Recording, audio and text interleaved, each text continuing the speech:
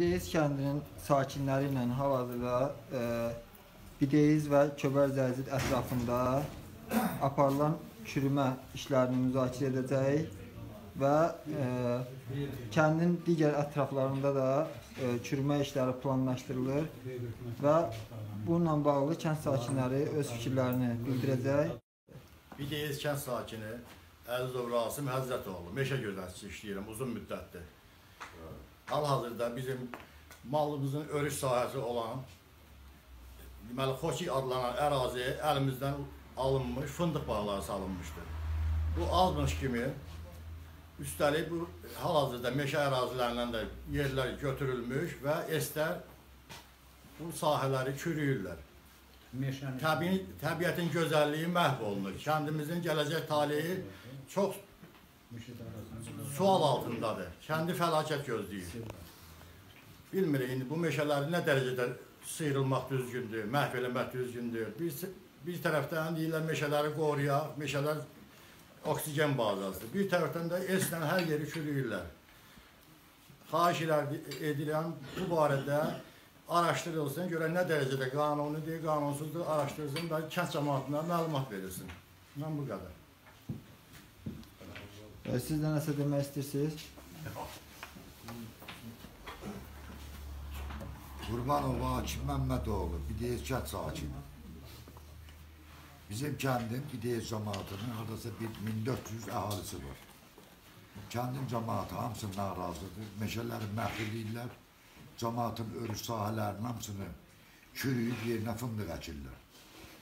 Eşdiyimizə görə bu, bunlar burada işlədikləri hamısı qeyri-qanunidir. Xahiş edirik buna bir qanuni şəkildə baxılsın, qanunudur yoxsa yox. Kənd cəmaatı hamısı narazıdır. Bu qədər. Mən Zakirov Namiq Surxayoğlu uzun müddət Şəki Meşə Təsərrüfatı İdarəsində meşə yoldaşçı vəzifəsində işləyirəm. Təbiətimizin bu gözəl səfalı güşələrinin biri olan Şəki rayonunun Bileyiz kəndində yaşayıram. Bu bizim kənd ərazisinə yaxın ətraflarda qeyri-qanuni işlər gedir, bildiyimə görə, eşitdiyimə görə qeyri-qanuni işlər gedir. Meşələr e, ağır texnikaların, eslər, tırtıllar altında əzişdirilir, sıyrılır, gedilir. Adını da qoyublar ki, Güya ki, aqromeşə salınmasıdır. Aqromeşə salınması üçün cənab prezidentimizin e, fərmanı var. Fərmanda qeyd olunmuşdur ki, meşə altında, meşə ərazilər altında olmayan boş ərazilərdə salınsın. Bu necə qeyri-qanuni e, hərəkətdir, mən bilə bilmirəm. Cənab prezident, mən sizdən xahiş edirəm, bunun haqqında bir ölçü götürəsiniz. Buyurun. Osmanov Şaban Müzəffəroğlu müəllim, pensiyaçı. Həqiqətən də bizim bu kənd sakini çox gözəl çıxış edir. Prezident də bütün dünyada yaşıllığı qoruyur və yaşıllığı artırmaq üçün çalışır. Çünki həyat da yaşıllıq. Su altı, suda olan heyvanlar, e, quruda olan heyvanlar, hər biri bitkilərin əldə etdiyi oksigen vasitəsilə tənəffüs edir. Tənəffüsü gücləndirir. Deməli bu bir qrup kimdirsə, kənd əhalisi də bilmir. Gəlibdir, bəzi-bəzi iş adamları ilə razılaşıb, sahələri təmiz məhv eləyibdir.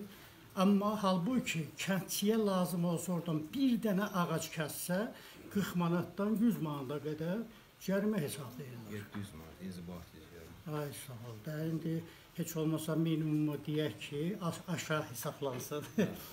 hə, amma biz e, Deməli, kolxozlar parçalananda, bələdiyyələr əmələ gələndə kolxozlara o bölgü torpaqlarından əlavə deməli mal otlaqları verildi. İndi biz prezidentə deyək bilmirik, birinci xanıma deyək bilmirik. Hələ ki xalq deməyə sözünü deməyə yer tapmır ki, otlaq sahəsi getdi əldən. Və bu subsidiya nə fikirləşirsiniz?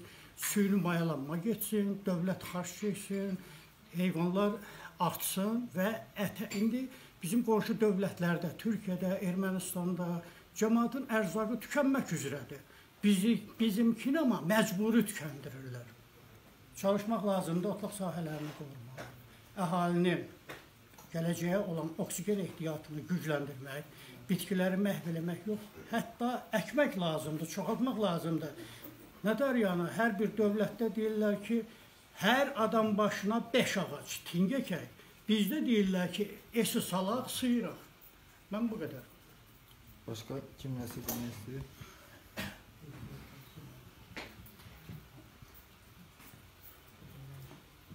Nəsə demək istəyirsiniz onu? Mən biraz emosial danışıram, danışıram. Mən yəni biraz xasiyyətim də odur. Amma barışmaq lazımdır vəziyyətlə. Mən xahişim odur ki, odur ki, bizim o boyda min illərin otlaq sahəmiz, örüş sahəmiz əlimizdən gedibdir. Biz kəndçiyik. Nə ilə dolanmalıyıq? Bizim malımız yoxdursa, biz nə ilə yaşamalıyıq, mən bilmirəm.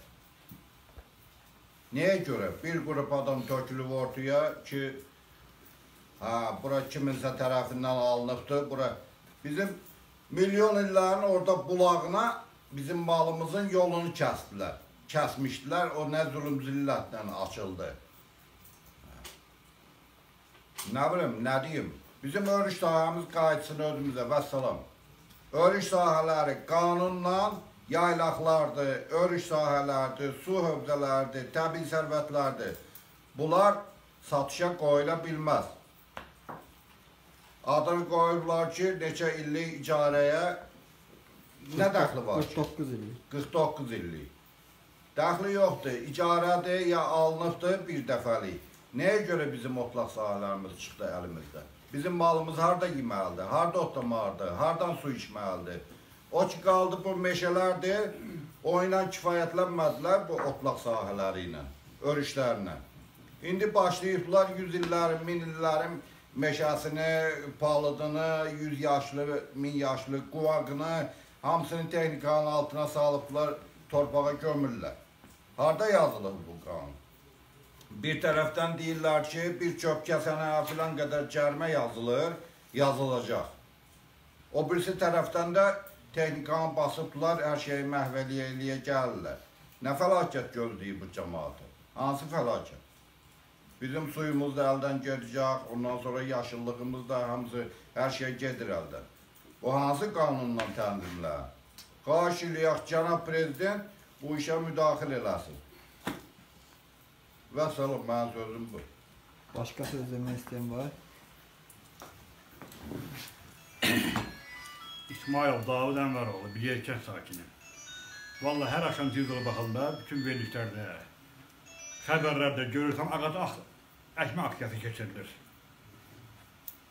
Nə bilim mən, yaşıllaşmadan söhbət gedir. Bu yaşıllaşma lazımdırsa, bəs bunda niyə bizim 500 hektar, 1000 hektar yerlərimiz etin qabağına seyir olar? Vallahi biz onu başa düşürmürük. Fındığı əkən getsin elə hər axşam aksiya keçirilən yerlərdə fındığı əksin də. Fındığı əkib nə neçə ilə, nə vaxt, nə bilim mən yetişətirsə, kimlər ondan faydalanırsa, ona kimi bu kəndin 1500 əhalisi var. Bunlar nə ilə dolanmalıdır? Bu kəndin təsərrüfatı ancaq maldarlıqdır, oyunçuluqdur, zülmlə bu cəmaat dolanır. 5-10 hektar meşəsi var. Bəs tamam, burada ayrı heç bir şey əhalinin dolanmaya imkaniyyəti yoxdur. Mən bu qədər. Başqa kimsə nəsə demək istəyir?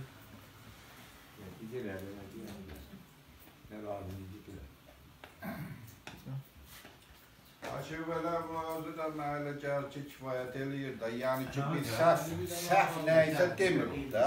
Bunu 10 adam eyni şey dedi, tutaq ki, yaxud 3 adam dedi. Mən bilməyimə Hə, e, burada səslənən fikirlərə etiraz edən, burada məsələn meşələrin çürünməsinə razılığını ifadə edən kimsə varsa o da öz sözünü deyə bilər. Yəni Bir adam vardı bu kənddən çıxsın. və hər kəsin fikir azadlığı var. Hər kəs kimsə başqa əlavə nəsə fikri varsa desin. Heç kim elə qeyri-qanuni işlərə qol qoya bilməz. İmkan dairəsində qanun çərçivəsində bu məsələlər həll olunmalıdır ki, hər şey öz qaydası olsun. Kənd də yaşamalıdır, ağac da əkilməlidir, amma qanuni şəkildə, qeyri-qanuni yox. Xahiş edirik bu haqda əncam çəkilsin. Başlayayım. Ha, Ha, bir de kənd sakini Əzizov Rasim. Meşə Bey. Niyə təqdim edirsən? Necə görürsən? Təqdim edirsən da ki, Meşə Bey. Özün təqdim edərsən deyir.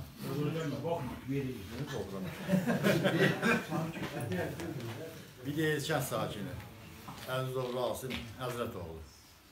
Meşə Bey. Meşə gözətçisi. Ay cəmaatçı razı qaldınız. Ha, ha, bax, başqa